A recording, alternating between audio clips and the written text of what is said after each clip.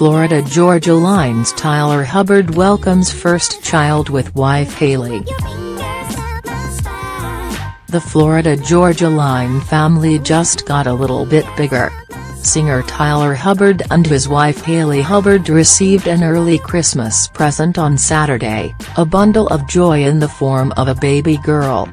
The first time Daddy took to Instagram to share the exciting news alongside the baby's first photos, revealing her name, Olivia Rose.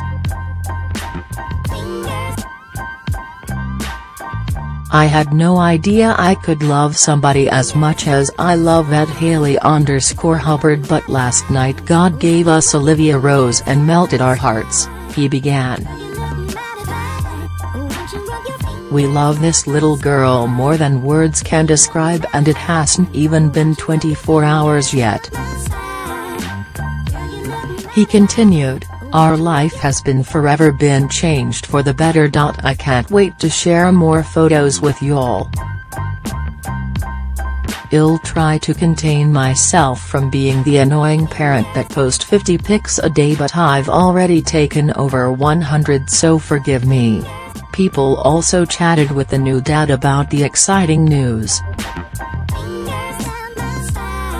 We're so overwhelmed with joy and already more in love than we could have ever imagined with this little angel that God has given us, he told the publication.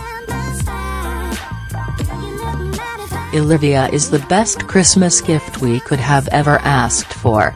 Meanwhile, Hubbard and his wife first announced their pregnancy news in June, when they thought they were expecting a little boy.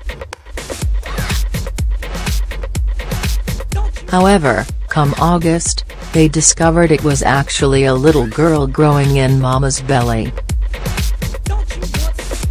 God's got jokes. After thinking we are having a boy for the last few months, turns out the blood test was wrong and we're actually having a little girl, the country music star shared on Instagram.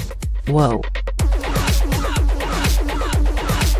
So many emotions but really really excited about this next chapter even if God does like throwing us a curveball every now and then. Just keeping us on our toes. Hash daddy's girl nonetheless, Hubbard was always excited to be a daddy.